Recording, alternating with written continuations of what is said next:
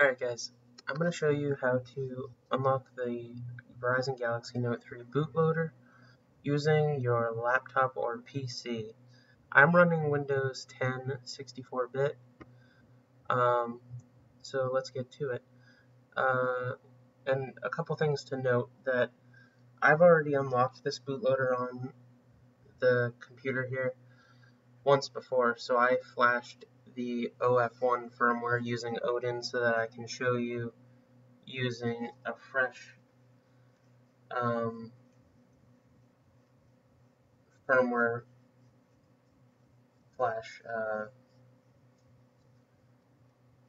of what it would look like um, if your bootloader wasn't unlocked. I think it's only going to show you um, once on how to do the um, actual bootloader unlock. The first time it changes your CID, and then the second time you run the unlock, it does the actual bootloader unlock. So you're going to have to run it twice. Once to change your CID, and once to do the actual unlock. In between those two, you're going to have to unplug your USB cable and pull the battery, and then put the battery back in and reboot your phone. And then plug the USB cable back in again, and run the commands again. It takes two times with a battery pull and USB unplug for the unlock to work. So don't scratch your head after one time wondering why it's not unlocked. You have to do it twice. Pull the battery and pull the USB cable and then reboot the phone after putting the battery back in and plug the USB cable back in and do the commands again. I can't stress that enough. Okay, so tools you're going to need are the Samsung USB drivers, which I will include a link to. You're also going to need minimal ADB fastboot, um, which I'm going to include a link to as well. This is just so you don't have to download all the Android source code. All you need to do is install this for ADB since that's what you need to unlock your bootloader. As you can see right now I'm installing it. Um, it's going to install to program files x86, minimal ADB, and fastboot. That's okay. You want to click on create a desktop icon just for to make it easy, especially if you're new to this. So install, there we go. We're going to say launch it, that's fine. We're going to minimize this window. And then um, when you download the Samsung Galaxy Note 3 Unlock, you're going to open a zip file and it's going to have this file in it. Samsung Unlock underscore Note 3 or N3. That's the file that you use in ADB. So we're going to right click on it. We're going to copy it then we're going to go to our file manager. We're going to open it up and we're going to go to local C disk or local disk C program files x86. We're going to go to minimal ADB and fastboot, which is where we installed that. We're going to right click and we're going to paste.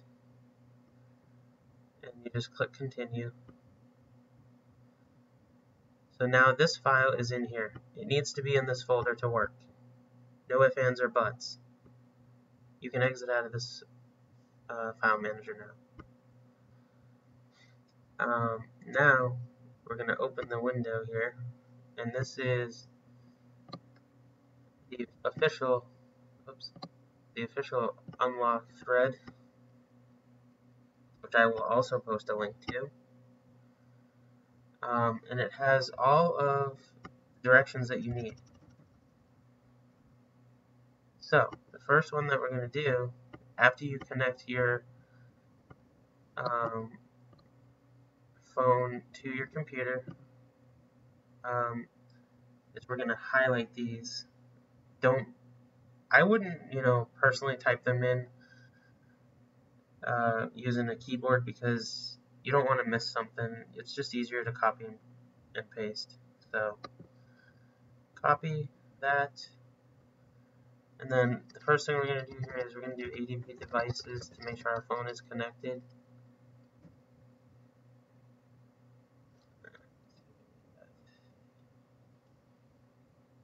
Oops, that's good. See, it looks how look how easy that was. I forgot to add an F, and it gave me all that. So now you just do ADB devices it says right here, list of devices attached. Okay. Um, and then we're going to go back here, we're going to right click, we're going to copy this, then we're going to right click into the window here, or left click and then you're going to want to right click. It's going to paste it into there, hit enter, right here, this is what you want to see. Mine was 732 kilobits a second, you know, in whatever bytes in point three zero or you know whatever. The point of the matter is is that it, it worked. Um, so now you want to do ADB shell. Copy that.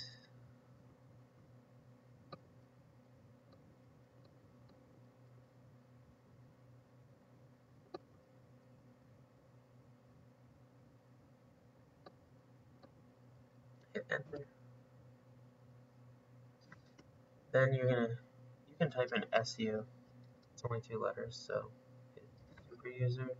That's what it stands for, SU. So type in SU, hit enter. And you're gonna go to your smartphone, and super user will ask you for ADB shell super user request and hit grant.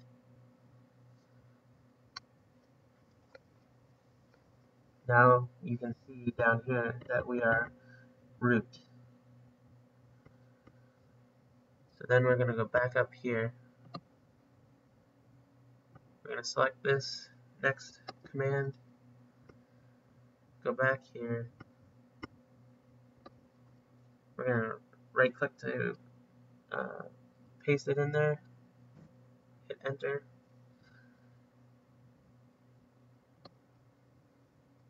Then I'm going to copy this one and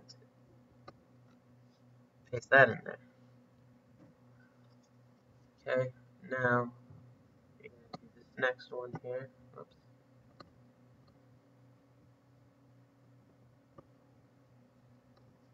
Copy that one.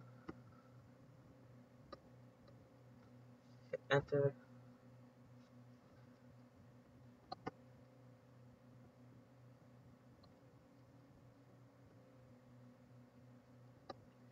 that one. Now, like I said, after I hit enter here, it's going to load a dialog and it's going to uh, change your CID. If you've never done this before, which I'm guessing you haven't, um, for you, it's going to change your CID first, and then it's going to power down your phone. And then you're going to pull the USB cable out of the phone and pull the battery out of the phone. And then put the battery back in. Turn it on so that it boots to the Verizon stock ROM. And then after it's booted, plug the USB cord back in again. Okay, so here I go. I'm going to type in yes. CID CID at boot time is or was what it's going to be already. So this is the one that's going to change it to for you. So it says dev CID matching, and it's going to proceed to the unlock. Backing up loaders. This will take a few seconds or a few minutes. Loader successfully backed up. Success powering off device. Hopefully it's not bricked. Um, so my phone just shut off. I'm going to unplug the cable and pull the battery. Then you're going to hold volume. Well, this is after the second time. You're going to hold volume down, home, and power to verify that you are a developer. Like I said, I only had to do this once because I've already done it before. You're going to have to do it twice. Then after you're done with that, you're going to need to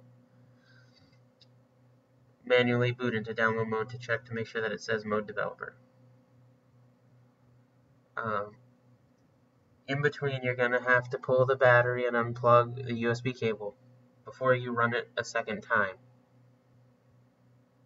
Alright, I hope this was helpful. I know I repeated myself a lot, but there's a lot of people getting confused in the thread.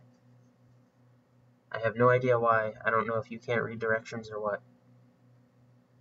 This is what I made the video for, so hopefully this helps everybody. Have a good one.